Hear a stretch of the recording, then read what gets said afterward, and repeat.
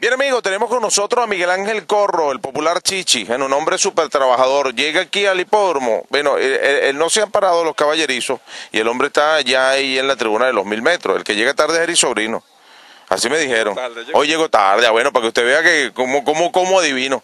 Ah, Miguel Ángel Corro, 5098. 5998. 5998. Usted como que es pichirre. ¿Por qué? Porque se me olvida o el nombre o se me olvida el código. Te lo he dicho varias veces y te te olvidado. 5998 y las etiquetas. Fijo y última. Fijo y última, 59.98, Miguel Ángel Corro, el popular chichi para tu hipismo digital. Vamos a ir con las tres primeras validas del juego de 5 y 6, ¿verdad? Para que ustedes tengan la información de parte de Miguel Ángel Corro en torno a su pronóstico para el 5 y 6. El saludo a toda esa gran fanaticada que está allí en tu hipismo digital y que es bastante, porque prácticamente ya por lo que es TV digital arrasamos. Tenemos, como se dice, el mercado con nosotros. Claro, exactamente. No, no, ya, ya eso. Copado, el mercado copado. Bueno, muchas gracias, Julio, y por supuesto, eh, gracias por la invitación a Turismo Digital. Claro que sí. Bueno, vamos con la, lo que va a ser las tres primeras válidas para el 5 y 6. Vamos a pronosticar en la primera válida. Vamos a abrir con una línea, Julio. Esta llegó a Water Lady, esta llegó a la Bricho de Misares Jaramillo el día sábado se vio muy bien en su galope, en su ejercicio el día sábado. El día miércoles la ajustó el mismo campeón Emisares Jaramillo.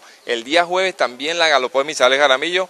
Y bueno, para mí Jaramillo no se le baja. Llegó a que debutó en 1500 metros, perdió por falta de suerte, ahora más puesta. En 1600 metros va a ser difícil que se la ganen. Y esta va como mi primera línea del 5 y 6, la número 3 Water Lady a la altura de la primera válida del 5 y 6. De allí nos vamos hasta la segunda válida, segunda válida bastante pareja, carrera bastante pareja. Vamos a estar con 3 en esta segunda válida. En primer término vamos a estar con la número 12 Sarquina, igual que me gusta para arrojar un buen dividendo y para buscar la sorpresa ah, en esta segunda válida del 5 y 6. Esta número 12 Sarquina, monten un ojo a esta yegua.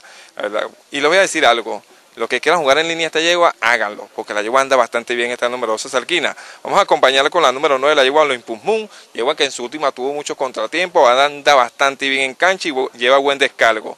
Y en tercer término, la número 4, la yegua My Fantasy, yegua que va a ser conducida en sustitución de Joan Aranguren por el jockey Roy Mechirino. Porque Aranguren luego de la rodada te quedó con algún tipo de de lesión. Tiene, dolencia y tiene cinco días de reposo el jockey Joan Aranguren. Esperamos que se recupere, por supuesto. y eh, esta, yo, esta yegua My Fantasy va a ser conducida por el jockey Roy Mechirino. Le gusta bastante, la galopó el día jueves y me dijo que la asistió bastante bien a esta número 4 My Fantasy. Así que en números, para mí en la segunda válida, el 4 My Fantasy, el 9 Olympus Moon y el 12 Salquina poniéndole un ojo del tamaño del cielo a la número 12 Sarquina. Ah, bueno, usted hace énfasis con Sarquina como para buscar un excelente dividendo y sabe usted que está en cancha que la yegua está en óptimo estado. Exactamente, y, yo no paso a nadie, como dicen por allí, yo no guardo plata. Usted no esconda nada. Exactamente, yo no, guardo plata, mucho menos voy a guardar datos. Esta yegua ah, Sarquina me gusta para ganar y arrojar un buen dividendo en esta segunda válida. Y en la tercera válida, carrera bastante pareja, vamos a estar con tres ejemplares. En primer término, el número 3, Gran Tetuán, viene de perder una carrera increíble, el jockey le gusta muchísimo este ejemplar, al Jockey Martínez le gusta bastante de su conducido este número 3, Gran Tetuán en esta tercera válida. Sus enemigos, el número 2, Ir y Bill, este ejemplar voló en el briseo. Este caballo lo briseó Joan Aranguren. Trabajó 1200 metros en 78 y bajó en 12. Se vio bastante bien en el ejercicio este número 2. Y Bill lleva buen descargo.